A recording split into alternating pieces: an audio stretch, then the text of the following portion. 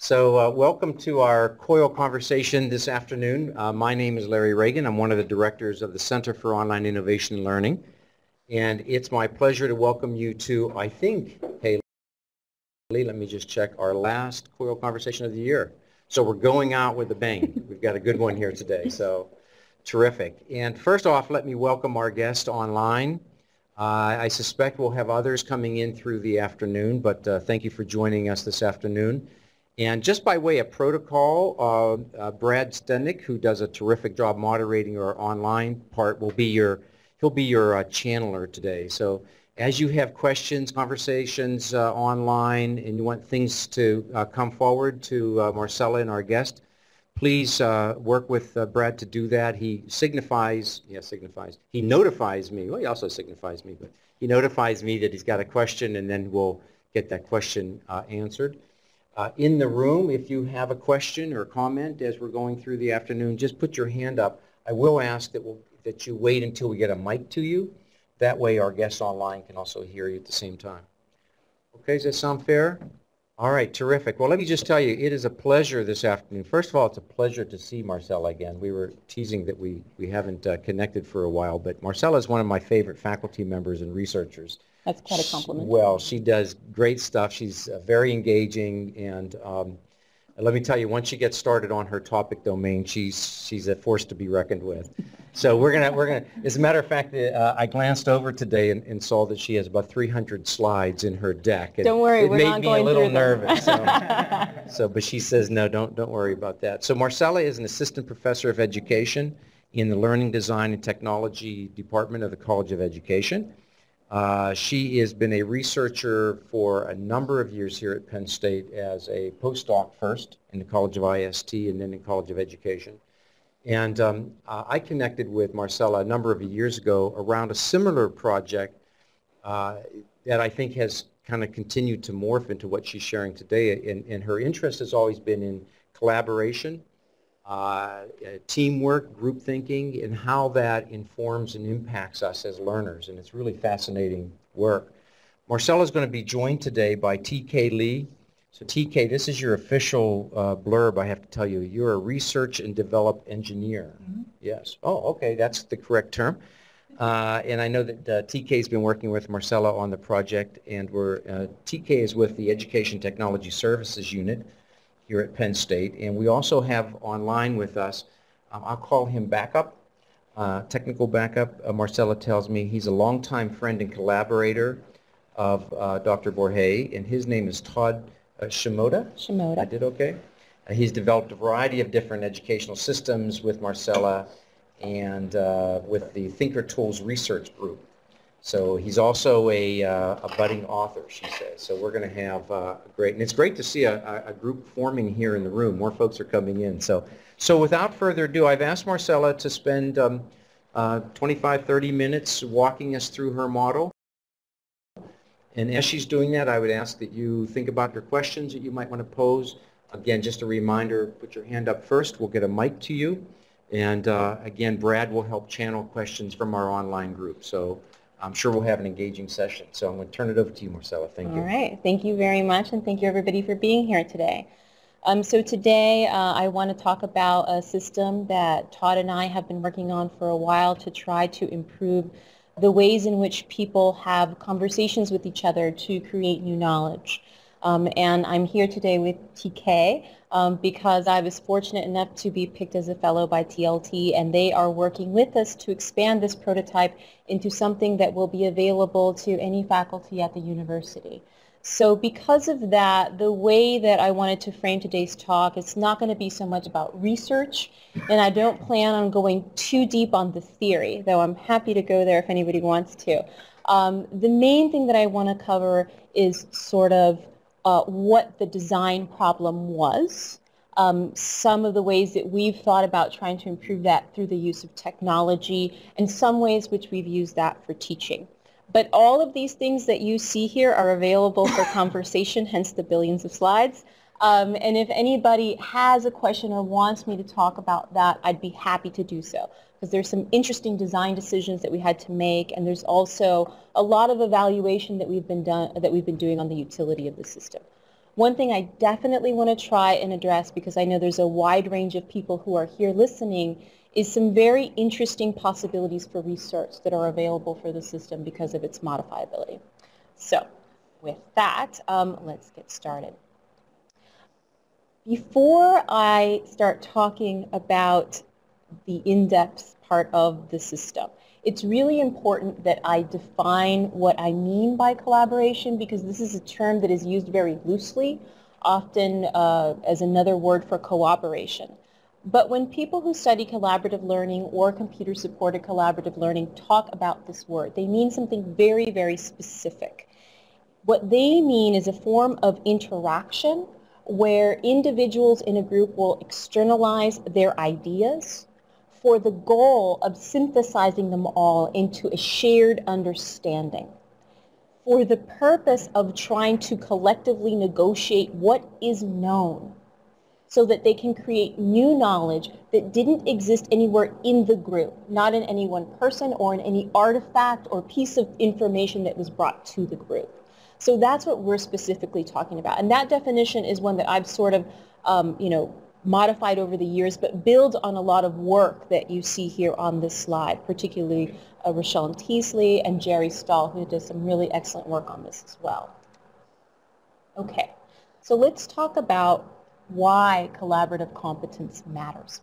Now, I knew I was giving this talk, so I wanted a really cool quote, right? And so I Googled uh, you know, quotes for collaboration on the internet. And I was like, oh, Charles Darwin, this is, this is a lovely quote, and it really supports my narrative.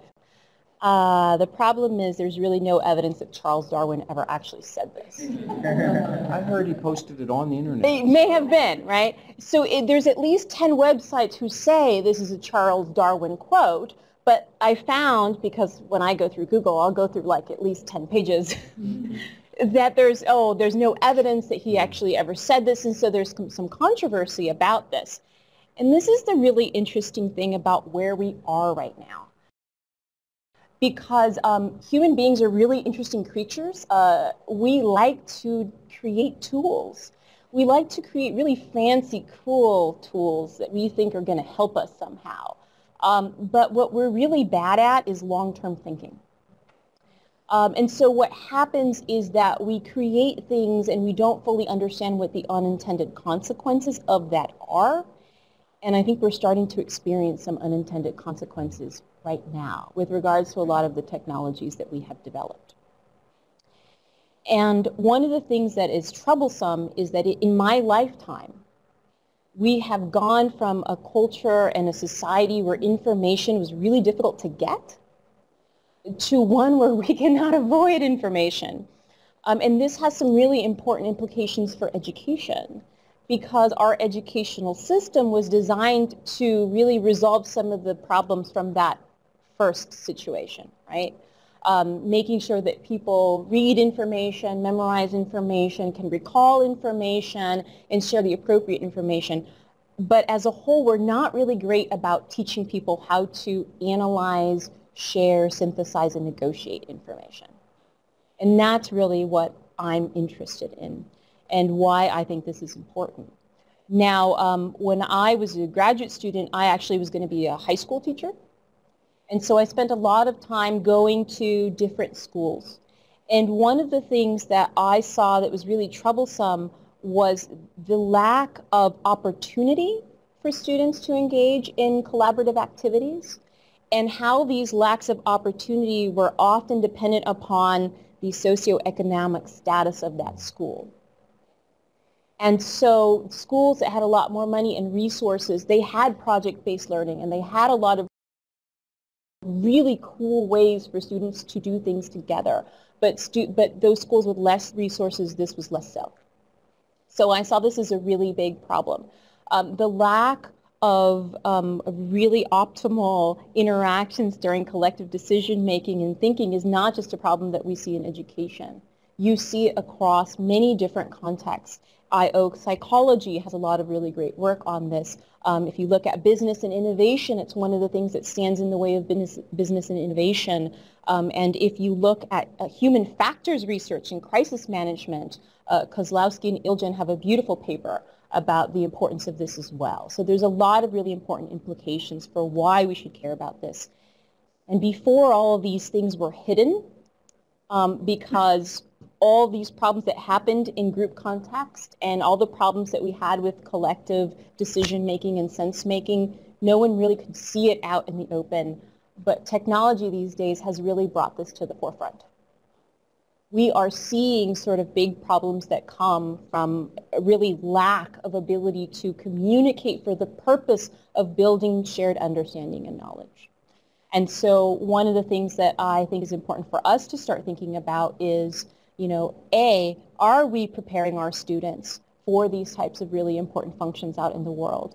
Or are the types of teaching opportunities that we're giving them such that they sort of develop their understanding in isolation as individuals with no set practice or skills of how to now negotiate what they have learned with someone else. So this is a challenge that Todd and I took on uh, we started off by thinking, well, how could we use technology to support the development of collaborative competence, right? That's, that was our main sort of design question. And it's not an easy question by any sense because now here's my challenge as a speaker today to you, the audience, is I have to convince you of a couple of things, and one of them is that cognition is nested. Now, for those of us that study cognition, we're like, yeah, of course it is. But for a lot of people, this is a very controversial claim. Because most people think that cognition exists in the head of individuals. We make sense of things and we interact with things, but always this is where cognition lives. Well, those of us who are more influenced by sort of social cultural theories of learning, we argue, no, no, no, no, no. Cognition exists in culture, in the community. Every time you think of something, you create a tool, you create an artifact, that's going to influence the rules and value systems of that culture and community, and that's going to affect how groups interpret things that happen and what counts as knowledge and what is valuable, and that's going to affect the individual. And it's really important when you understand that this type of thinking is nested because it also has implications for how we use technology and it also has implications for how we think about these problems. But the good news is that, um, you know, uh, unlike uh, the gentleman who wrote A Political Mind, uh, Lakoff, I think, Lakoff, um, he is concerned because he sees that when we engage sort of in discourse, a lot of people are far more influenced by emotion. And a lot of the things that you see sort of happening that people are more likely to change behavior if you use propaganda. Um, I don't think that that is always going to be the case because higher order thinking skills can be taught. And there's a lot of research that shows this, but it takes practice, right? But in order to be able to know how to develop it and how to use technology, we really have to understand this really complicated process of how groups sort of go through the process of sharing. Now, I did some research um, a few years ago for the Office of Naval Research, and they really wanted to understand how cognition happens sort of collectively.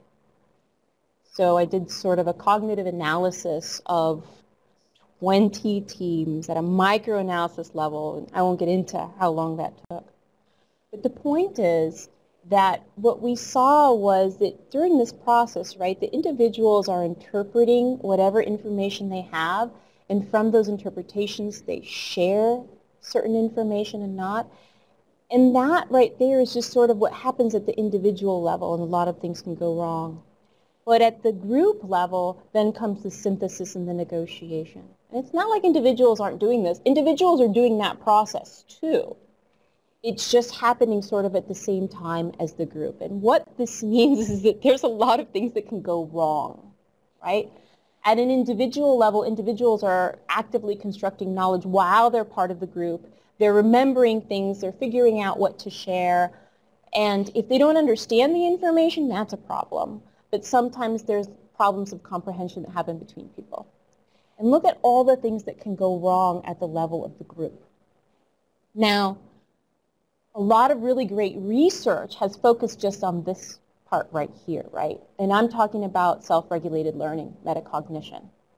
What we've found is that when individuals regulate their individual knowledge construction processes, it actually makes learning more efficient and better and deeper and richer. And it can help to mitigate a lot of comprehension problems. So we know that that is, is, is definitely true, right? Just think about your ability to regulate your attention when you're reading a chapter book. And sometimes you start thinking about the dinner that you have to cook and everything. But you catch yourself and then you go back and you focus. These things also happen at the level of the group, but they look different.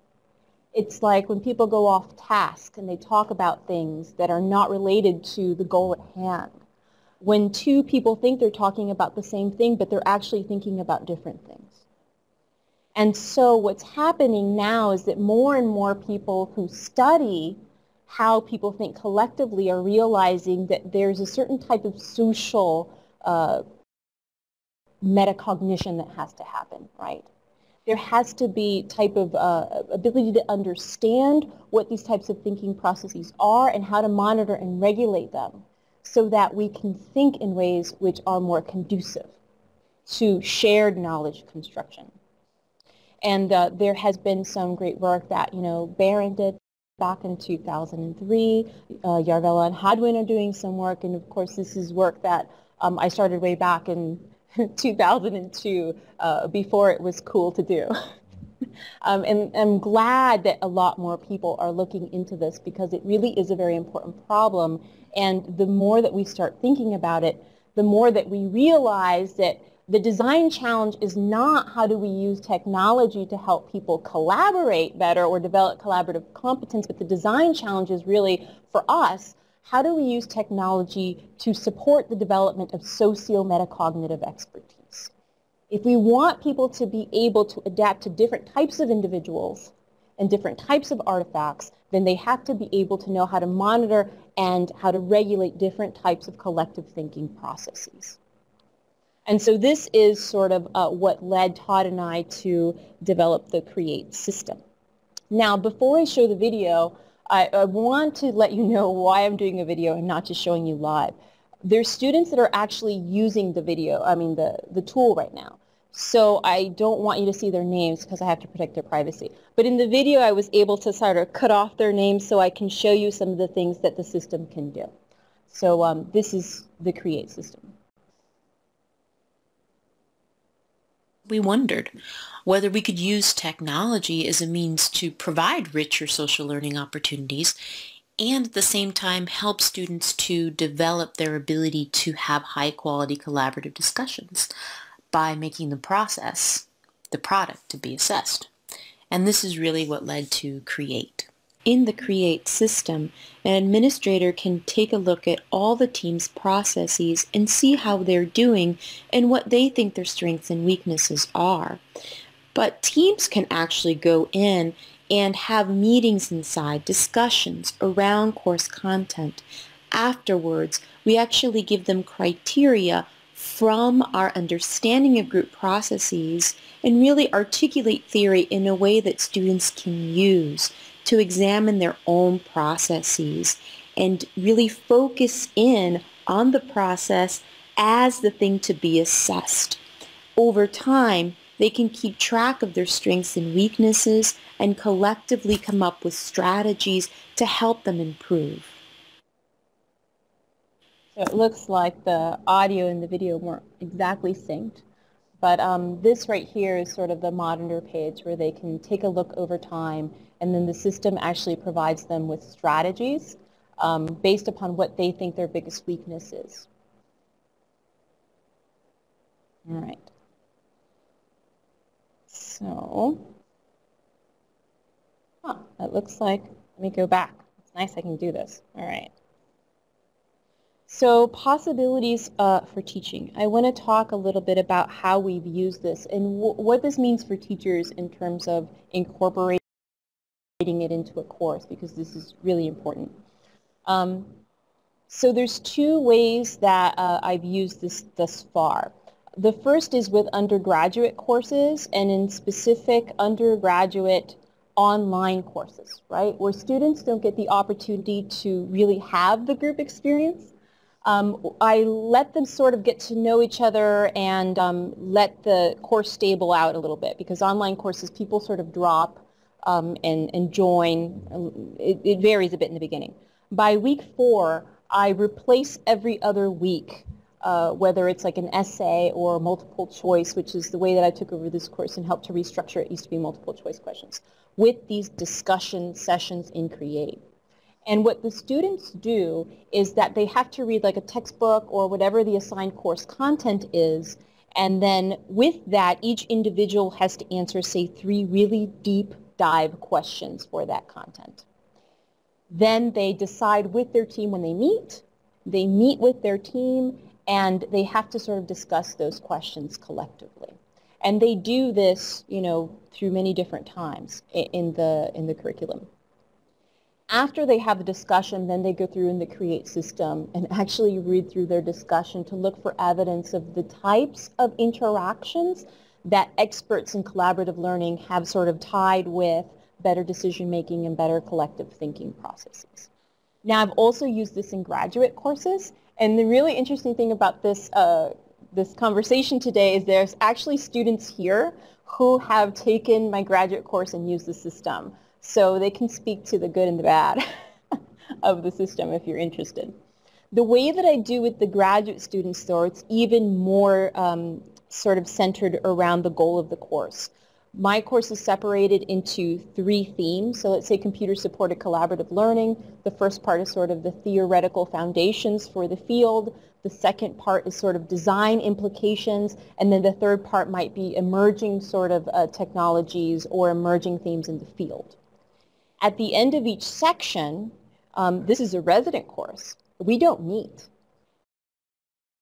they meet online in Create. And the goal there is for them to synthesize all of the readings for that part in the course and discuss them. Um, and to also connect it to other readings outside of the course and other things that are going on sort of culturally. Um, and it really gives them the opportunity to apply and think about these concepts in ways which are really sort of concrete helps them to see that maybe they don't know what some words might mean. Even when before they were reading it, they really hadn't realized that that might be sort of an issue. Um, it does help if you can establish sort of a collaborative culture in the course, particularly for resident students um, so that they feel that there's a place sort of at the whole class level where you can talk about some of the things that have been brought up in these discussion. It's really productive conversations that can happen in the classroom and also sort of about their experiences and create so that they can negotiate sort of the ongoing experience there. Now the final thing is you do not have to uh, use the same grading criteria that I propose here, but I do like to push faculty to consider that doing something like this is actually a lot of cognitive effort for students. It takes a lot of time, more so than some of the other activities, but from what students have told me, it's actually very worthwhile for them. Um, they can always argue about whether they want to keep the activities or lose the activities, and I've yet to have a class argue for losing the activity. But it's important as an instructor that you know that how you choose to reinforce it will affect the amount of effort that students will be able to give to it. So what this means sort of at the level of students uh, and what you can expect to see as an instructor. We have seen that the quality of conversations improve quite a bit. There's differences whether it's undergrad or graduate. Now, from an undergraduate level, I have many students that start off like this. This is what a typical discussion looks like. These are four unsubstantiated claims. None of them are building on any of the others. They just go into the room, they say their piece, they're done. By the end, we start seeing things like this. This is one person makes a claim, the other person extends the claim, the third person begins to offer an alternative perspective that's actually based on coursework. And so what we're seeing and what students have reported is that part of it is they just really don't understand what the goals are for collaborative activity. And so when they start to understand some of these things, it actually helps them um, to you know, reframe their activity. So here's an example. This is real students um, discussing their discussion processes, right? and they're trying to decide what is their weakest area based on the criteria. And the student says, well, is it idea building or exploring different perspectives. And then Allison says, well, I think it's actually both because we did a good job with this, but if you look at what we did here, you know, we didn't really good, do a good job. So perhaps the next time we discuss, we should go about it this way. And then Carl says, oh yeah, I agree with that. But if we're going to do that, then we need to change the way that we approach the, the reading questions that we're supposed to do before the discussion. And so what ends up happening, going back to the idea that cognition is nested, is that when students realize that there's certain expectations for them for how they have to discuss content in a sophisticated manner in CREATE, one of the most difficult ones is discussing alternative perspectives, which requires that they go beyond the reading sometimes. It actually changes the way that A, they approach reading the material, and B, the way that they prepare for discussing that material, which is why it takes up so much time, because they're no longer just reading the content. They're doing all this sort of thought work beforehand. Now, the other really important thing, particularly to Todd and I, is to actually talk to the students. Because we're doing this not because we think that it's cool, which we do, but also because we're really fundamentally trying to meet the needs of students. And beyond the fact that this could have the potential of improving the quality of discourse, it provides opportunities for students to create social connections. This is one of the biggest themes that came out of my online students. And it's kind of a sad thing, but I had a student once tell me in feedback that when they decided that they couldn't be a resident student because of their commitments to family and work, they gave up on the idea of having friends and of creating a peer group. And they had to make peace with the fact that their educational experience was going to be different. and he said that because of the create activities, that he actually made long-lasting relationships. These online students who were in different states started making plans to meet each other, uh, you know, like at conferences or like at halfway points and I had students who during these activities had horrible crises happen and their group stepped in in a way that was above and beyond. And so there's certain things that we're meeting here, certain needs that we're meeting for students that goes beyond just the cognitive, right? And so, um, you know, that I think is, is one of the important things that we're trying to do here is really try to understand how we can meet sort of the whole needs of the student, not just, you know, are they learning the material that we think that they should learn? But are we preparing these students to understand this material in ways that could be meaningful outside of the classroom? So now uh, I, I have covered sort of the, the top three things that I wanted to cover. Um, but there are definitely other ways which we could go into this discussion. But I'd like to sort of leave it up to the folks who are in the room and the folks who are joining us online. So um, thank you, Marcela. Really interesting things. As you know, I only have a small list of questions, but I want to hold mine off for a moment because I know we have some dialogue going on in the online space. So um, Brad or Haley. Uh, Brad, would you go first? Oh, Haley will? Oh, okay. Yeah. So sorry about that. Hi. Okay, so the uh, first question online is from uh, Jessie. She's asking, is this somehow, uh, uh, I'm sorry, is this somehow linked to existing psych personality tests to help individuals focus on their strengths and weaknesses during the create process? So it is not currently linked to any um, psych personality tests um, of that nature. Um, we, we made a, a, decision in terms of, of what level we wanted to provide feedback to Um, and because of the, again, the nested nature, um, you can provide individual feedback or you can provide group level feedback. And there's some research to indicate, and I'm thinking this is DeShon et al. 2004. Uh, their paper is sort of a, a multi-level analysis of uh, group performance. And um, they did this really interesting study where they had teams do sort of a task, an iterative task. It was sort of a cooperative or collaborative in nature. And then at each time, they would give them feedback. And they would either give them individual feedback for one set cohort. The others, they would give group feedback. And the third, they would give both individual and group feedback. And what they found was that those that received individual feedback, um, individuals improved significantly in the ways in which they performed the task, but the group did not. If you gave the group feedback, then the group improved significantly in the way in which they did the task, but individuals did not. And if you gave them both group and individual, you got significant improvement nowhere. Right. And so um, it, it, makes sense if you think about the fact that we only have so much cognitive uh, energy to provide to improving upon something. And if you understand sort of a self-regulated learning literature, um, it's not just awareness of what is the, the problem or issue, but whether you have the cognitive space to attend to it and know what to do to improve it.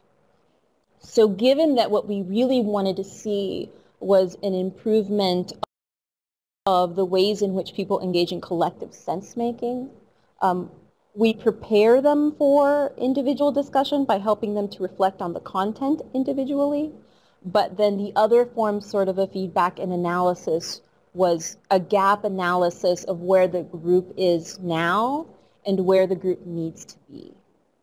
Is there an optimal number of, sorry, is there an optimal number of students to have in the group? That is the age-long question. Um, so you know that you don't want it to get too big. Four is kind of high. It depends on the task. Um, I prefer to have three students in, in, in the CREATE system just because there's more conversation. But um, because of the unpredictability of, say, World Campus courses, many times it's two students, and two students work perfectly fine. Um, so for this particular system, I would say two to three would be the ideal that you would strive for. Thank you. There's a quick request to uh, show the tool again, specifically the help prompts when groups identify their weaknesses. I don't know where that is in your presentation, otherwise I Sure. Let me see. And then, Larry, I think we can do some questions in the room, otherwise we've got some huh. online. So I could log into the Create system and show them that with my group where there's no students. Can I do that on this computer?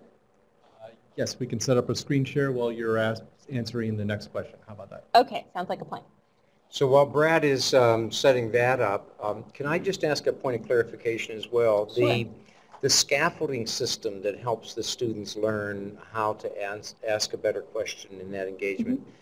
Is that that is at the heart of the engine of this, yes. right? And how does that happen? Is that magic or like what what's the mechanism that's that's making that occur? So so that's a really good question. Um, and can we hold off sure. on that question because I think it would be the perfect one for possibilities for future research. Okay, sure. Sure, because sure, we've designed everything in the system to be modifiable such that any faculty, they don't have mm-hmm. to use our rubrics.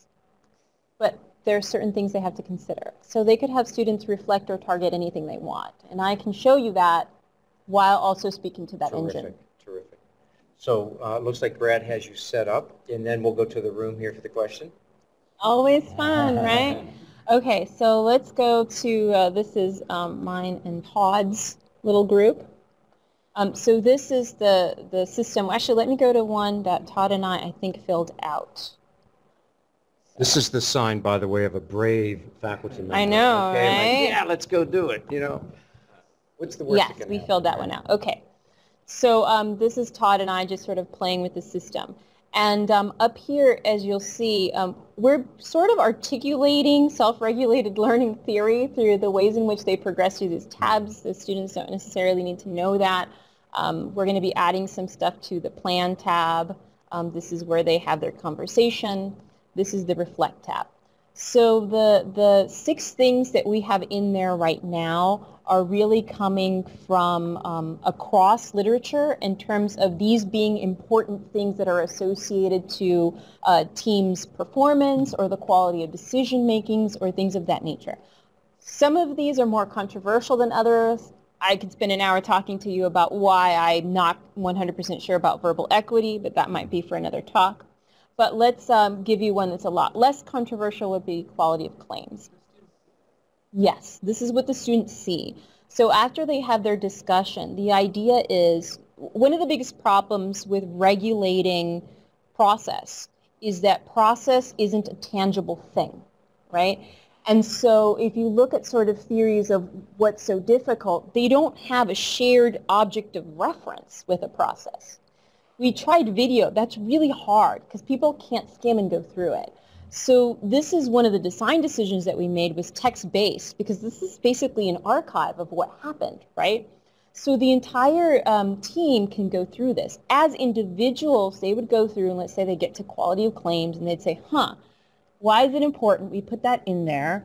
Um, and then they have to decide on a scale of one to five, right? Where one is members make claims without providing any reasons and support to five, where we're looking for at least two examples.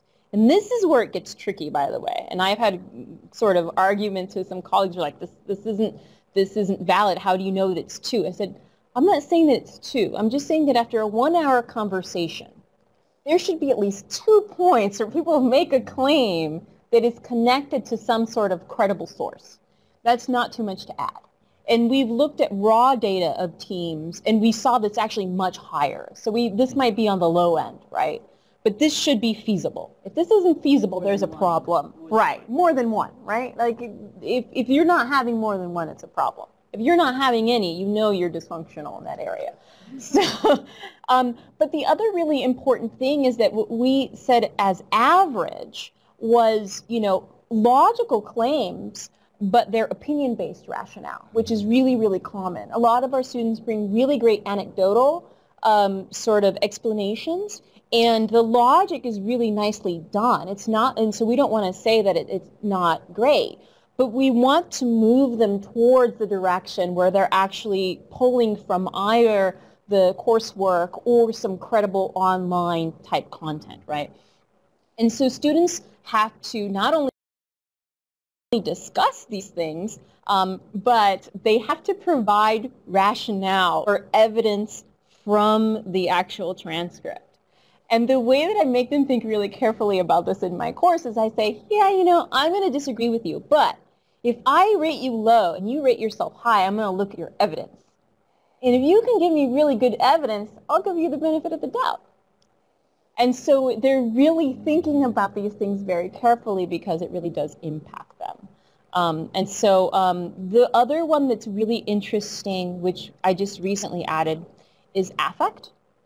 Um, this one doesn't show up um, with strategies for how to improve, but just knowing that how you're feeling that day can impact the group and watching students have discretion, you know, I was really tired today and I just wasn't really with it today uh, maybe we should meet actually earlier because it would probably be better for the group if I had a little bit more energy or something like that. So that's really what happens. Now, once individuals assess each of these things, um, so I'll do one more, um, joint idea building, because that's a big one in CSCL. And what students don't realize is that simply agreeing with an idea isn't sufficient. There's strategies for extending an idea, for um, elaborating by giving concrete examples of what somebody else has said, like, oh yeah, I know what you mean, blah, blah, blah, and this also applies to such and such. Those types of communication moves lead to also more sophisticated discourse.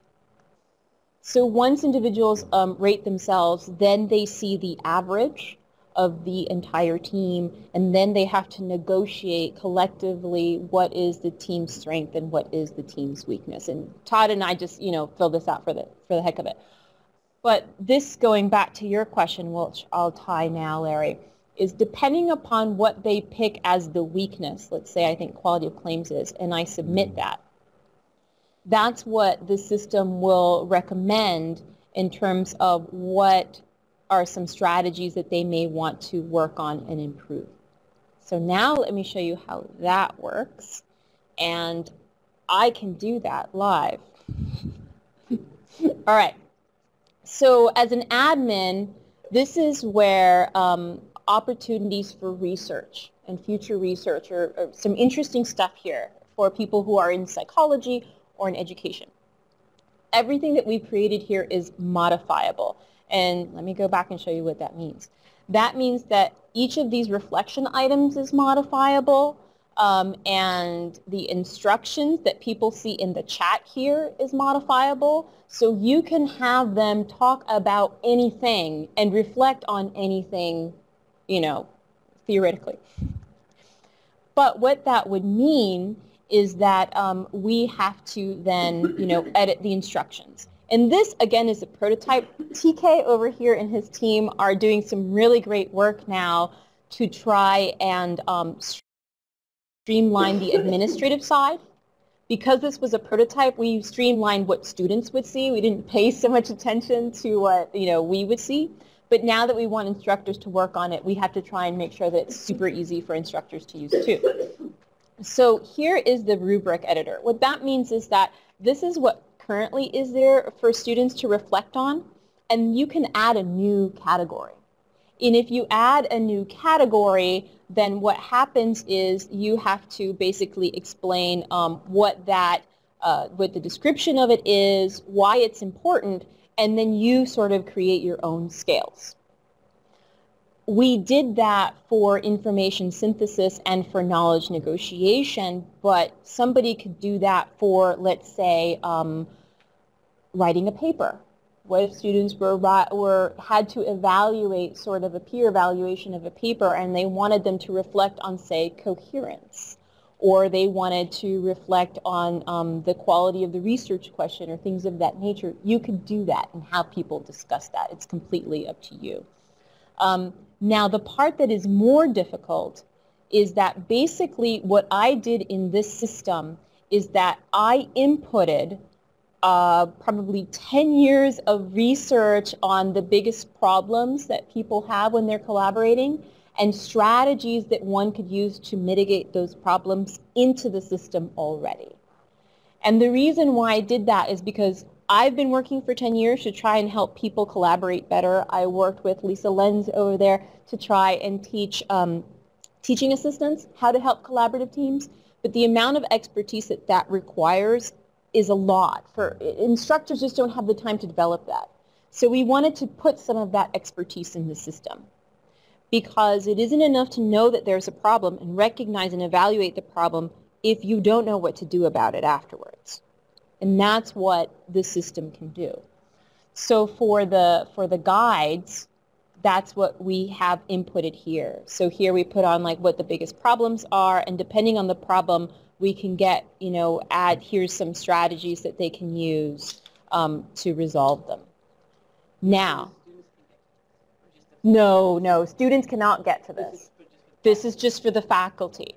So um, when you add teams right now into the system, you get to decide um, who's in the team, what instructions they use. So if you wanted to run an experiment, you could have different instructions if you wanted to have different control groups.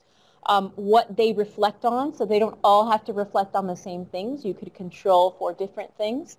You could control for whether instructions are funny. You can, you can start to really um, address some really interesting theoretical arguments that have been made and start seeing how they play out in real conversation. So that's what I think is really interesting about the potential for, for research. So Marcela, I, I love uh, what I'm seeing here, and, and uh, I would guess that we have some questions in the room, mm-hmm. and I know that we have a few more online. So if it's okay, I'm going to move the mic ar around, and we'll get them to our folks here. One second, Lisa. You can probably put the talk back on now, Brad. You go ahead. Oh, okay. Um, thank you for, for, for the amazing talk, first of all. You know, I really enjoyed it. Um, one quick question I had was, uh, when you were de- developing the system, you know, Mm-hmm. what were one of the most basic things you wanted to have in the uh, in the system? Some of the, the most basic things that I wanted to have. Yeah.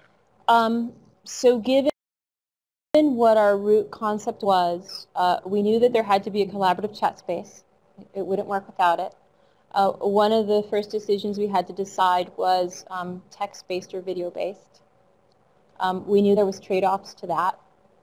Um, video provides sort of richer connection and social connection, um, but at the loss of the shared objects of reference because we tested video and it was very difficult for students to be able to pinpoint sort of what was said and when. That was much more um, easy to do with, with the text-based. And so that was one of the first ones is that because the other most important thing that we knew is that we wanted to address the underlying thinking processes of collaboration. So, and this is different than just people say, oh, why don't you just use, you know, Google Chat or Skype?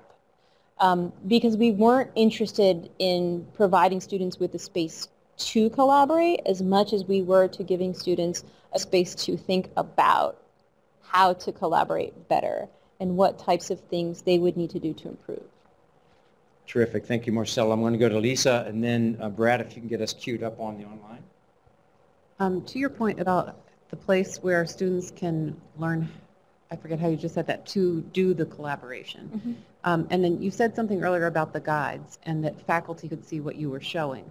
But the students can see the guides that the faculty enable. Correct. And when they see the guide, do they see everything in there or is it tailored to what they've done? What do you mean by tailored to what they've done? Um, like if they didn't do particularly well in a, in a particular area, is the guide just a standard Yeah. guide that they see everything? They don't see everything. That's a, that's a good question. In, in the system, the only part of the guide that they would see is the strategies that line up to whatever weakness they have identified. So we're trying to filter the amount of information that they see to basically give them the best advice to try and resolve whatever problem they're having. Um, and, you know, again, at the administrative end, we get to decide what the rules are for if they're weak here because they say they're like a two, then this is probably the best strategy to sort of give them. So there's a little bit of logic back there with what they see. However, the guides that are in the system, if you want to just see the, guides, and I've shared these with TLT, if you go to my website, at um, sites.psu.edu. There's um, resources for teachers, and there's four guides there. The system right now only has two areas of, of four that we've argued are sort of important for collaborative teams. So the information synthesis and knowledge negotiation guides are there, and that's the entire guide, everything, which you can just, you know, have. But there's also planning and productivity, which are currently not parts of the system.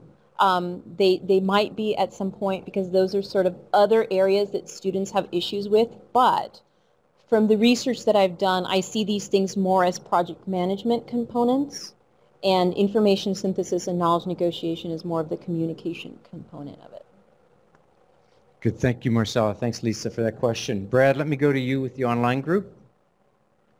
Sure. The uh, next question is, how can the group feedback improve group performance without also improving individual performance? So um, that's a really good question. Because w- what happens is that at the level of the group, it's not just about what an individual does, but how they coordinate activity between people. And so if, for example, they decide that, you know, we're not really sharing alternative perspectives, there may be one person that hasn't prepared very well for the discussion, but it's not about really attacking that person. It's about solving that problem. And so they're like, how can we as a group improve this problem? Um, oh, so one of the strategies is that, you know, maybe we could do some research. Each of us can sort of take another area of this, of this um, content that we're reading and go out and see, you know, what other alternative perspectives there might be. So why don't we try coming prepared? So as a team, they're resolving the problems, which usually leads to individual change. But I think that the, the big difference there is that when we start assessing individuals, then people start feeling attacked or people can start feeling like this is your fault. And so when you frame it at the level of the group and they have to plan concretely how each of them is going to try to modify that, it takes that away from this is your doing. And it's more of a group interaction problem, which it really is. It's, when it comes to level collaboration, it's not one person, but it's the interactions between people that become problematic.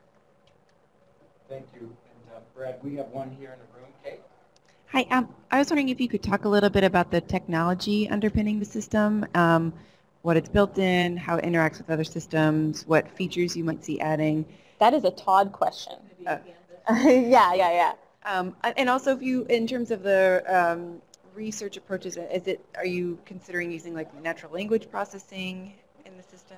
Let's go back to natural language processing. But first, I think Todd and TK can talk about, about the system. And can we pull up Todd?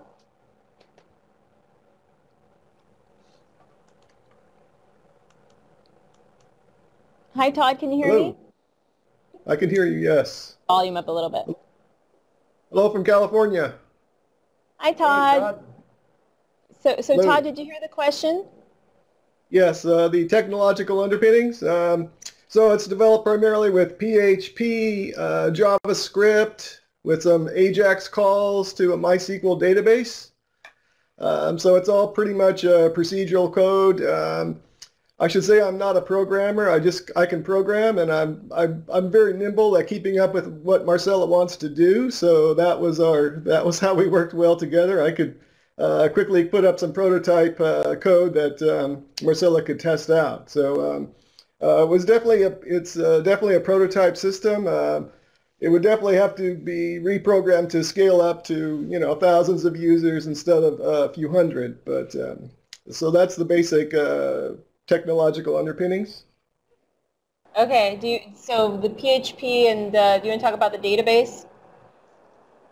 Yeah, the, the database is a MySQL database. Um, so it had several different tables with um, the guides, the uh, chat, discussions, uh, any administrative functions, and also the teams and users. So there's um, uh, quite a bit of um, preliminary uh, back-end work that we did. Probably took a year just to get all that set.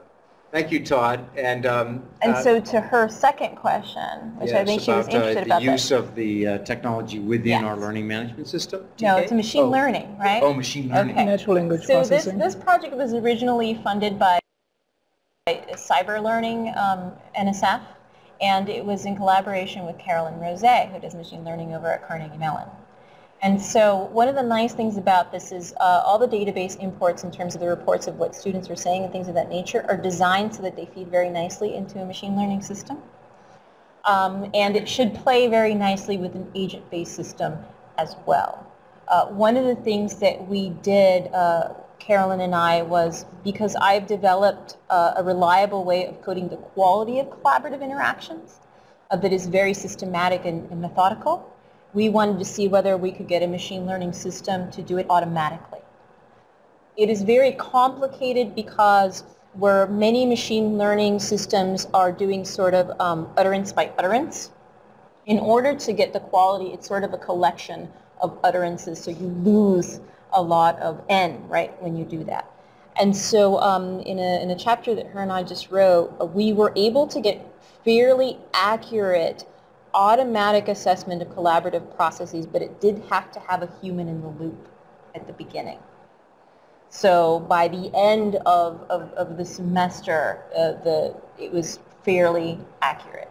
That's a really, really important question for a number of factors. One is that people are really terrible at assessing how good they are at something. Um, and so the calibration is important. So there's a lot of still very important questions that need to be answered in the system, and machine learning could play an important role in that. Any other questions, um, uh, Brad? We're, we've probably got room time for one more, I'm guessing. You may have answered this already, uh, but uh, how can individuals uh, gain access to the tool itself? Okay. Um, so access to the tool itself will be dependent upon uh, when TLT has finished expanding to the university. Um, there may be other ways to get access to the tool, uh, which you would have to have a conversation with Todd. Um, but you know, we, we were originally sort of um, trying to develop this so that it would be open source, so that anybody who would have interest in the tool or technology would have access to it.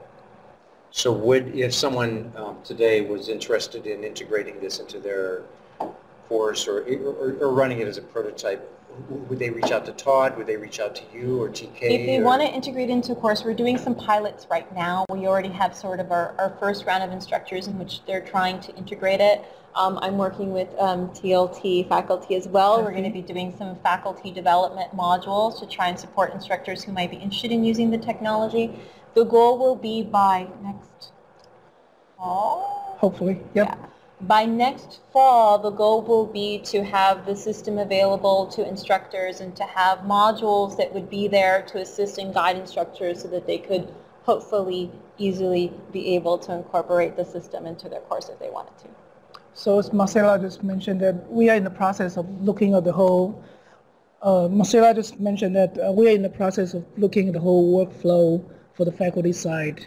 How do you start from designing the course and to have this as a, a teaching module and to put it into your course?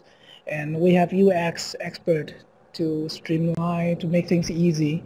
And we also uh, are working on scaling up the, uh, the machine capacity to, to handle more courses. Um, we're looking at, uh, hopefully by summer, we can have something ready for the training. And uh, Kathy Jackson here and Marcela, they're working on a, training program for the faculty to help you understand the whole piece and how to incorporate it into a course. So talk to us. Terrific. Um, With that, I'm, I'm watching, we're right at uh, uh, our time here, 2:30. Um, Marcela and and TK and Todd, thank you so much for joining us this afternoon and sharing with us really what I find is very exciting work, and I'm, I'm only sorry that it wasn't embedded into Facebook this last, oh, I don't know, say, election cycle. Yeah, But we might have right? used some logic. It would have been very useful. This is, this is marvelous, and really, I, I just think such a, an addition to our uh, pedagogical model. And what I love most about this is, is how we're, we're training students in critical thinking and analysis in these collaborative spaces that moves them forward. I, I loved your point about moving away from opinion, you know, and that opinion being formed in the community and bumping it up to the evidence. So, uh, so kudos for that to, to both of you. Thank you. Thank you. Um, so with that, folks, I'm going to sign off. Thank you to our online group for joining us this afternoon. You've been marvelous. Uh, look forward to seeing you all in the fall, I'm sorry, in the spring. I am going to give you a little um, uh, hint here. In um, We're hoping in early February. We don't have a date nailed down, but we've asked uh, Kyle Bowen and Kyle Peck. I have to come up with a clever name around the two Kyles. I don't know. uh, to share with us a, a, look at the state of um, educational technology, in particular at Penn State. Um, both of these two Kyles uh, think a lot about this. They work a lot in this space. So that'll be a COIL conversation. Uh, we're, we're, we're aiming for early February, so watch for that one. Also, as you, as you always know, if you have ideas or, or thoughts about additional programs like this that you'd like to see, please let us know. We, we love arranging these and we love engaging the community. So thank you for being with us and giving us a good year and a good wrap-up to our year. Thank you, Marcela. Thank you very much for having me. Signing off. Thank you, folks.